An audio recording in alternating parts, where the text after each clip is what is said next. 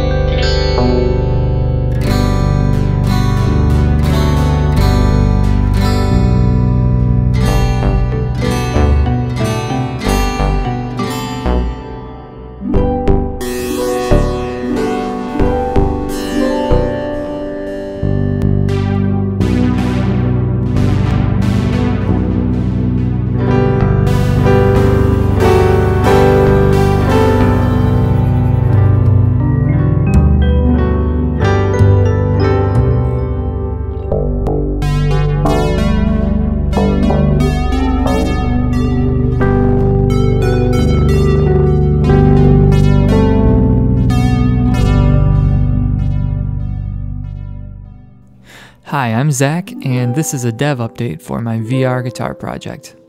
In my last video, I asked everyone to suggest a new name for this instrument. There were lots of good ideas, like the Radiotar, the 30 string, and the Etherian harp.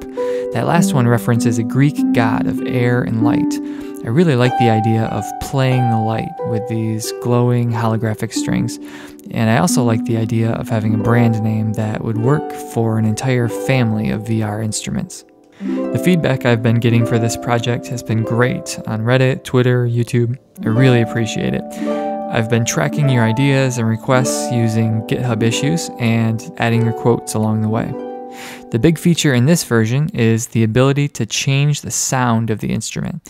As you saw in the intro song, there are tons of sounds you can choose. Uh, I've been having a really good time playing with these new sounds. Some of them have very strong volume dynamics, like the piano and the steel guitar, which makes the strings feel even more responsive to your strumming. As many of you know, I'm building this project as an entry in Leap Motion's 3D Jam contest, and the final deadline is on Monday the 9th. I've been very busy for the past few weeks with new consulting projects, so I didn't finish quite as strong as I wanted to. Um, but I'm really glad that I was able to release these new instrument sounds before the deadline. Uh, I think they add a lot of value to the experience. Ah, I should mention that you can download these instrument sounds as audio packs on the project page. You can also download a GarageBand project and a MIDI file, uh, which you can use as a template for creating your own sounds. I'd love to hear what you create. I think it would be really fun to try instrument sounds using your voice, where the dynamics of each note transition from, say, a whisper to a shout. The video description has a link to the itch.io page where you can download the VR Guitar app and some of these sounds. The panel for selecting sounds is built using my Hover VR interface kit. I built Hover VR earlier this year, and it's a really helpful tool for creating menus and buttons in VR environments. I didn't have time to give the menus nice transitions and everything, but here are some quick examples from my other projects.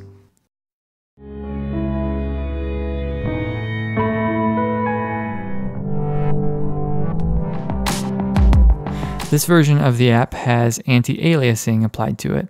Um, the cameras use HDR, so I couldn't use Unity's built-in AA. Uh, instead, I added the AA component to the camera and chose the FXAA1 Preset A option. This version of the app also includes an experimental leap-only build. So, for users who don't have an Oculus headset, this will at least allow you to try out the app. Um, you'll have to set your leap onto the table in front of you, and just note that, at least for me, uh, it's much easier to play the instrument when you are using VR. So, what's next? I might explore different positions for the strings and the chord selectors, and as part of this, I could also provide more ways to customize the size of the guitar, the order of the strings and the segments, and um, also allow you to detach the guitar from your head position. Um, now that Hover VR is integrated into this project, uh, I can add new menus for these features without much trouble. That's all for this update. For those of you with an Oculus and Leap Motion, don't forget to try out the app. You can find this entire video series on my YouTube channel and find me on Twitter for project updates. Dev up and rock on.